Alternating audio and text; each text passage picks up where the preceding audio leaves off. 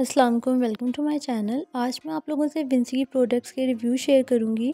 तीन से चार हफ़्ते हो गए मुझे इनकी प्रोडक्ट्स को यूज़ करते हुए। तो सबसे पहले हमारे पास आता है इनका क्लिनजिंग मिल्क जो कि काफ़ी अच्छा लगा है मुझे। इससे स्किन काफ़ी नीट एंड क्लीन हो गई थी मेरी। अच्छी तरह मसाज करने के बाद मैंने फेस वॉश किया था तो काफ़ी अच्छा इफ़ेक्ट था इसका।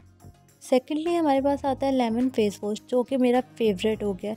क्योंकि ये यूज़ करने के बाद मेरी स्किन की डलनेस है, वो भी आहिस्ता आहिस्ता ख़त्म हो रही थी और डार्क स्पॉट हैं, वो भी कम हो रहे हैं। तो ये तो मेरी तरफ़ से रिकमेंडेड है। फिर मैंने इनकी यूज़ की एक्स्ट्रा ग्लो लाइटनिंग क्रीम इससे मेरी स्किन काफ़ी ज़्यादा ऑयली हो गई थी तो आई थिंक ऑयली स्किन वाले ये यूज़ ना करें ड्राई स्किन वालों के लिए बेस्ट होगी। तो वो ये यूज़ कर सकते हैं।